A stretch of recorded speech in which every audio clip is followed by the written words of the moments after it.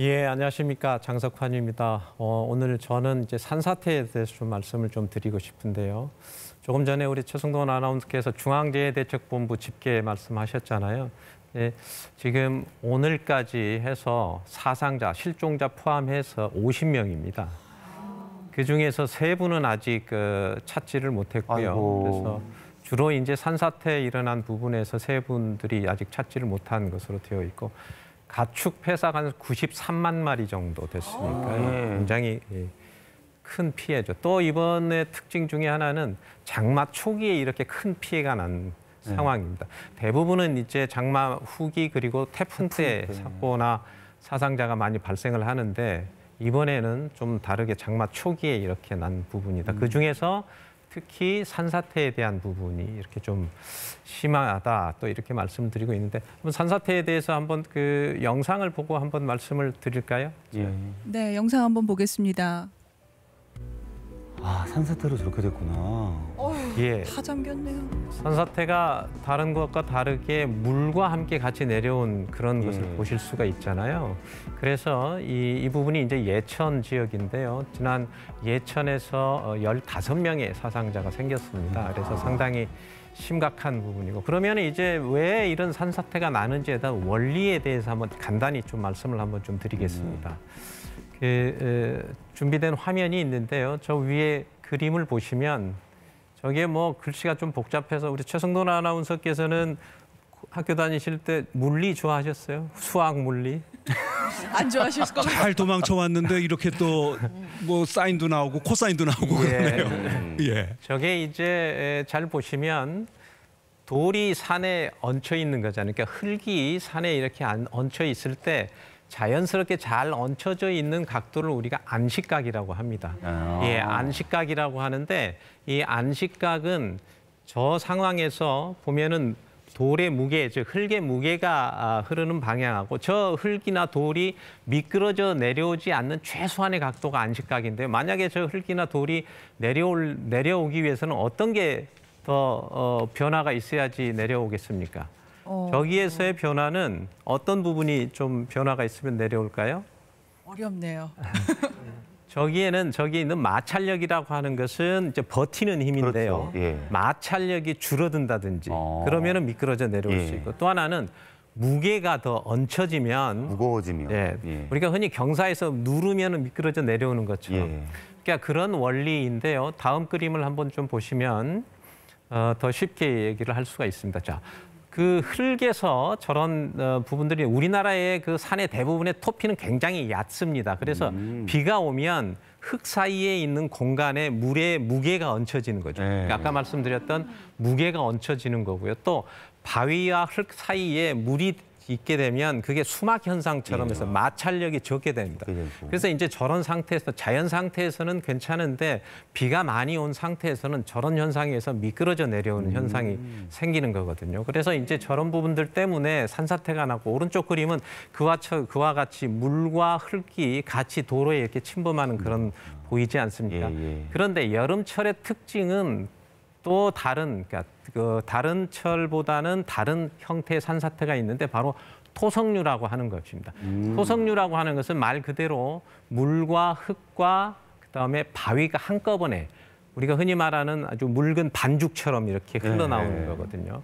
그래서 이 반죽처럼 흘러나오는 것이 대단히 위험하고 그 부분들이 대부분 우리가 잘 알고 있는 2011년 우면산 산사태가 바로 토성류고 또 올해 났던 여러 가지 봉화나 예천이나 영주나 이런 부분들이 있는데요. 한번 어, 영상으로 한번 좀 보실까요? 정선의 상황인데요. 어. 저기에 보시면은 다 무너져 그 내리네요. 보시다시피 그 물과 흙 그리고 돌이 한꺼번에 굉장히 빠른 속도로 내려오기 때문에 네. 저것을 피한다거나 그것을 어, 위치에 대한 것을 뭐 감지한다든가 굉장히 어렵습니다. 저게 이제 한 그 당시에 한 140mm가 왔는데요. 예. 그 전에 한 400mm 정도 왔습니다. 그러다 보니까 이미 굉장한 많은 물이 에, 포화된 상태에서 비가 갑자기 더우니까 무게가 더해지고 아까 얘기한 대로 미끄럼들처럼 마찰력이 줄어들어서 한꺼번에 쏟아지는 겁니다. 따라서 잠시 소강 상태가 됐다고 해서 절대 안심하시면 안 됩니다. 지금처럼 오늘 뭐 굉장히 날이 맑고 뭐 폭염까지도 되어지지만 그렇다고 산사태가 없냐 그렇지 않고 이미 굉장한 많은 양의 물이 들어 있기 때문에 그 위에 조그만한 다른 힘이나 비가 조금 더 오면 언제든지 날 수 있다 이런 어, 부분들이 있습니다. 그런 부분들이 이제 대부분은 어떤 부분들 때문에 그럼 우리가 그것을 알 수 있느냐 전조 증상 같은 것들을 우리가 생각할 수 있는데 네. 그것은 이제 에, 갑자기 소리가 난다든지 약간 우르릉 소리가 난다든지 이런 부분을 좀 알 수 있고 과거에 이제 우리 어르신들은 어, 산에서 어, 그런 부분들의 에, 소리가 나기도 하고 또 산이 운다고 하기도 하고 또 하나는 뭐 피를 토한다, 즉 황토물이 솟아오른다 이런 부분들이 생길 수 있기 때문에 상당히 좀 어려운 부분이 있습니다. 다음번에는 이제 게- 가장 좀 여러분들 주변에서 많이 볼 수 있는 이제 옹벽. 어, 절, 어, 도심지의 옹벽 문제인데요. 도심지의 옹벽에는 굉장히 많은 어, 피해들이 많이 있고 또산 비탈을 깎아서 만든 요새 아파트라든지 주택단지가 많지 않습니까? 예. 부산 같은 경우가 특히 그런 부분이 많이 있는데요. 어, 부산 같은 경우도 한번 어, 준비된 화면을 한번 좀 보시겠습니다. 네, 네.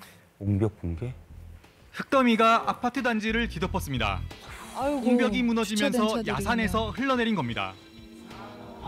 예, 옹벽은 이제 에, 뒤에 원리가 이제 뒤에 한번 그림을 좀 보여주시면 옹벽은 사실은 절개지의 흙을 지탱하기 위해서 만든 부분인데요. 그 부분들이 물이 차게 되면 그 물의 무게를 버티지를 못하고 터지는 그런 형상이 되는데 음. 그래서 옹벽 같은 경우는 배수로에서 물이 나온다든지 아니면은 약간 배부름 현상.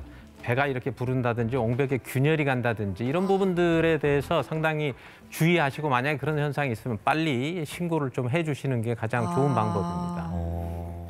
옹벽이 이렇게 불룩해지는 경우도 많이 있군요. 그렇습니다. 평소보다도 대부분 이제 자기 주변의 주택지에서 봤을 때 옹벽이 다른 모습이 보인다든지 그런 상황이 되거나 균열이 갔다든지 그러면 반드시 좀 신고를 하셔서 좀그 준비를 하시는 게 좋습니다. 산사태에 취약한 지역이 있나요?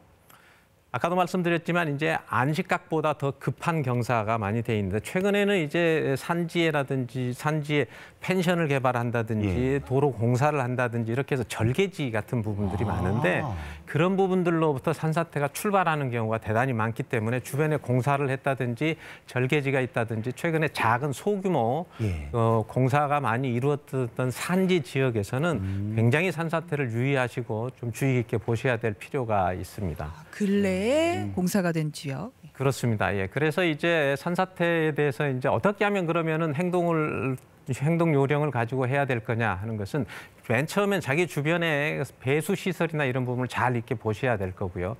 당연히 뭐 기상 정보나 어, 재난 정보 센터 그리고 뭐 KBS 재난 방송 센터를 잘 보시면 될 것 같고요.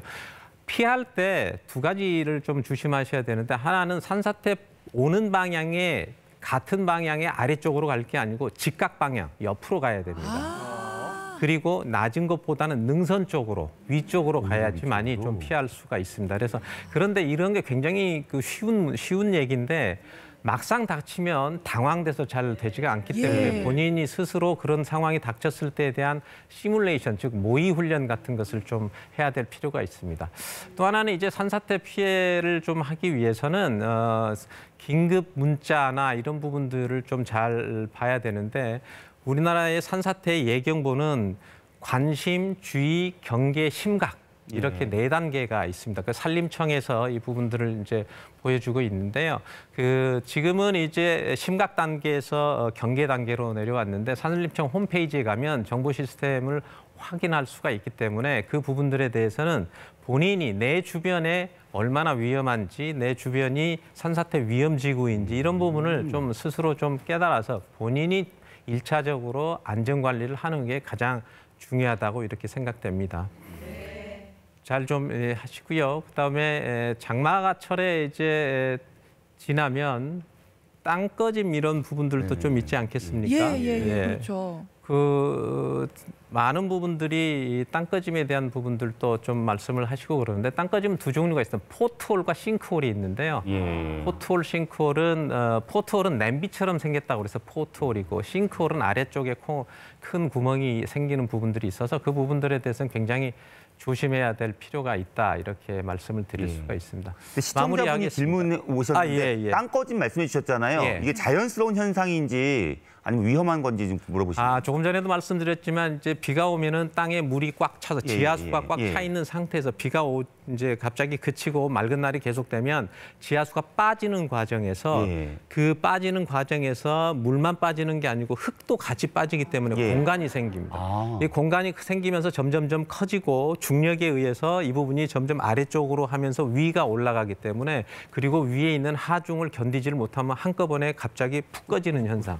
대단히 위험한 상황이 생기는 거죠. 그래서 이제 그 부분들이 좀 어, 관심을 좀 가져야 될 부분이 있고요.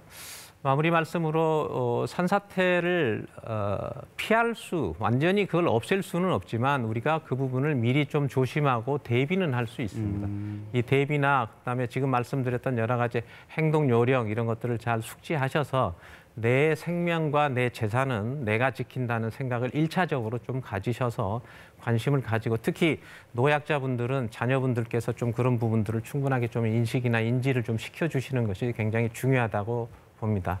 이상 마치겠습니다. 네, 감사합니다.